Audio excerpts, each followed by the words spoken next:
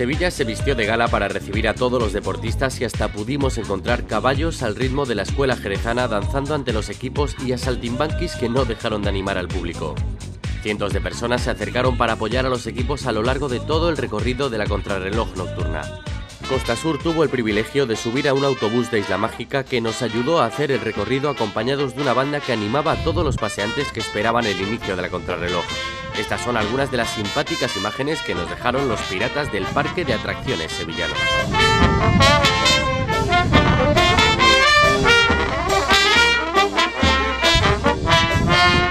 Antes de comenzar la etapa, todos se preparaban a fondo con sus bicicletas en los stands de sus equipos. A 3.424,9 kilómetros de la llegada a la Plaza de la Cibeles en Madrid, todo estaba preparado para vivir una noche mágica en Sevilla. Antes del comienzo de la contrarreloj, hemos podido compartir unas palabras con el diseñador de moda Custo Dalmau, que se acercó hasta la capital a presentar el nuevo Maillot, también con el director del equipo Andalucía Cajasur y con el orgulloso padre de Antonio Piedra, ciclista de ese mismo equipo que se ha desplazado con su peña para animar a su hijo por toda España. Nos encontramos con Custo Dalmau aquí en Sevilla y bueno, cuéntanos a qué has venido aquí a, a Sevilla. Bueno, he venido a pasar una noche fantástica aquí en Sevilla, una ciudad maravillosa y además es, la primera etapa de la Vuelta a Ciclista de España. Eh, la organización nos ofreció la posibilidad de diseñar el maillot del líder eh, y bueno, pues hemos venido aquí a colocárselo al ganador de esta etapa.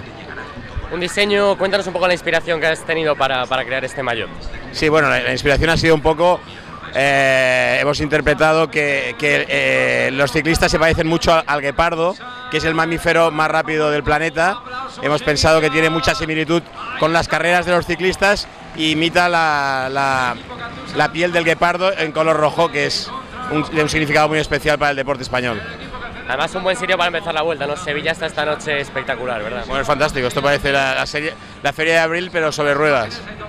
Bueno, cuéntenos, supongo que un poco de nervios ¿no? antes de esta primera etapa en Sevilla. Sí, nervios, presión, eh, por la expectación que ha creado esta, esta 75 Vuelta a España y de hecho impresionante el público porque realmente nos quedamos impresionados el año pasado en Holanda, en otras salidas, pero he hecho una vuelta en el circuito y yo me he quedado impresionado y mira que estamos viendo competiciones eh, semanalmente, ¿no?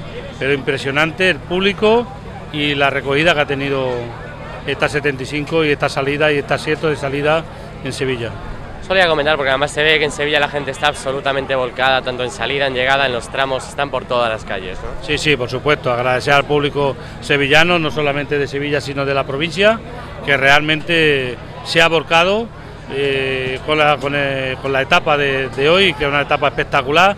La primera vez que se hace en una gran vuelta una etapa de noche, y yo creo que, que en eso felicitar a Unipubli eh, por, esta aceptación, a realmente a la Junta de Andalucía, a Turismo, Comercio y Deporte y a la Junta de Andalucía por apostar, eh, no solamente por el equipo Andalucía Jesús, sino realmente por, estos tipos de eventos donde realmente con la repercusión que tiene mundialmente vender nuestra marca de Andalucía, como bien dice nuestro consejero de Turismo, Comercio y Deporte, don Luciano Alonso, yo creo que estamos en un buen camino y nuestra marca se está viendo en todo el mundo.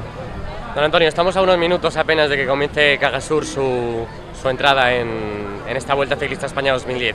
¿Con qué expectativas viene el, equipo este año? Bueno, el equipo hoy no es la mejor carrera para nosotros, teniendo todos los especialistas mundiales que hay en los grandes equipos.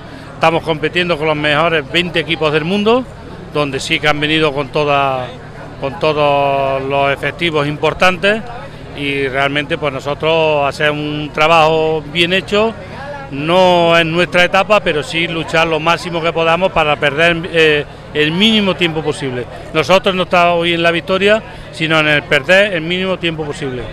Cuéntanos, habéis venido aquí a seguir a, vuestro hijo, a Sevilla, muy especial, ¿no? Para ustedes. Sí, sí, bueno, para nosotros es un orgullo, para toda la afición sevillana y, y especialmente, bueno, para la familia, los amigos, que, mi, hijo ahora es el Piedra, yo soy el padre del Piedra, sí, yo antes era el Piedra, pues eh, esté aquí en, la ciudad, corriendo en su ciudad natal y bueno, el único representante sevillano de Sevilla Capital, ¿no?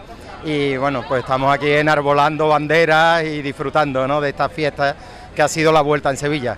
Además, don Juan nos, comentaba que es un esfuerzo especialmente grande el de su hijo, está estudiando todavía tercero ingeniería, ¿no? Sí, sí, eh, yo creo que es un rara avis.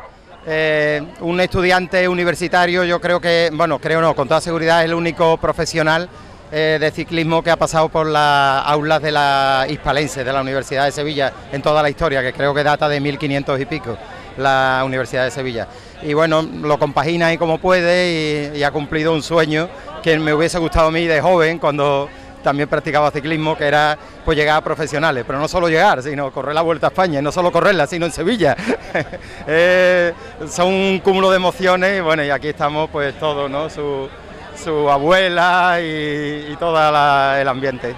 ¿Van a seguirlo más para Andalucía o se tiene que quedar en Sevilla ya? Sí, bueno, por motivos de trabajo no lo podré seguir todo lo que me gustaría, pero bueno, intentaremos ir mañana a la etapa de Alcalá Marbella, eh, también intentaré ir a Jaén y después tenemos previsto coger algunos días de vacaciones para ir al norte, a Asturias y a la bola del mundo en, la Sierra de Madrid, sí, estaremos con toda seguridad.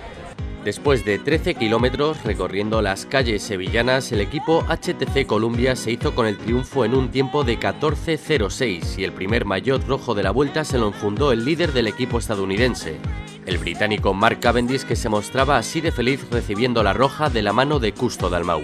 El equipo Andalucía Cajasur lo luchó hasta el final, pero esta no era la etapa en la que contaban con todo a favor. Sus integrantes sí se han dejado ver en otras etapas más largas y duras y en muchas ocasiones han sido la salsa de la carrera. Sevilla entera se convirtió en un espectáculo donde el guion lo escribieron los deportistas, pero los protagonistas fueron las miles de personas que se acercaron a animarlos a lo largo de todo el recorrido. Y rompa las fronteras.